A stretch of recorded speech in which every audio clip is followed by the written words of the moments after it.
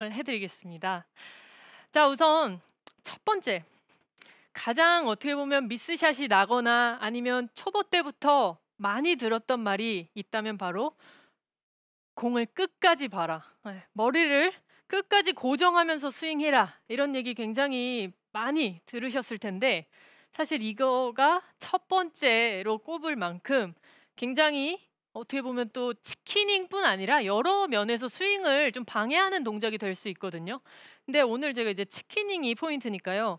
왜 이 머리 고정이 치키닝을 만드는지 네, 그걸 좀 설명을 드리면요.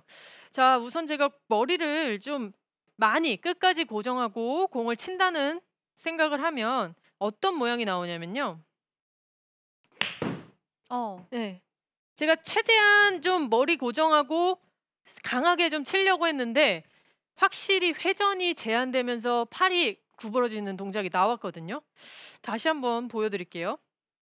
그러니까 머리를 많이 고정하고 공을 끝까지 봐야 된다는 생각으로 공을 치게 되면 팔이 확 구부러져요.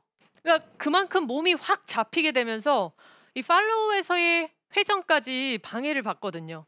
그러면 우리는 이 회전이 방해가 돼서 막혀서 나갈 수 있는 공간이 없기 때문에 팔을 잡아 올리는 이런 동작을 할 수밖에 없게 되는 이제 선택을 어쩔 수 없이 하게 되는 건데 어 이제 회전을 우리가 하게 되면요.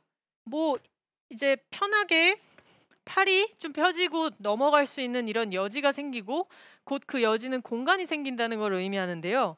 이제 제가 편하게 좀 시선을 공이 나가는 방향으로 좀 돌려 본다면요. 굿샷. 네.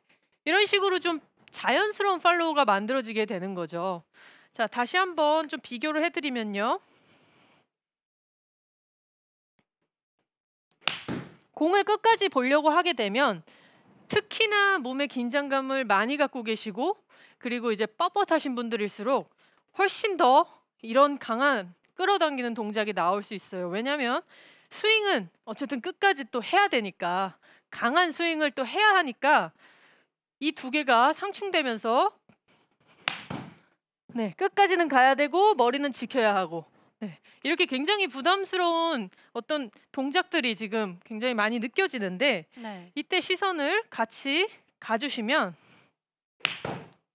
좀 편하게 회전되면서도 팔로우를 특별히 생각 안 하셔도 아 내가 이렇게 좀 강하게 불편함을 느끼셨던 어떤 왼쪽의 팔의 동작을 조금 편하게 풀어줄 수 있는데 도움을 받으실 수 있습니다. 그러니까 올바른 그 상체의 회전만 잘 되더라도 네. 치키닝을 방지를 할 수가 있다라는 말씀이시잖아요. 네, 네. 우선 이게 좀 초석으로 다져져야 되는 부분이라고 생각을 해서 먼저 말씀드린 건데요. 이제 이렇게 회전을 하면서 먼저 몸에 이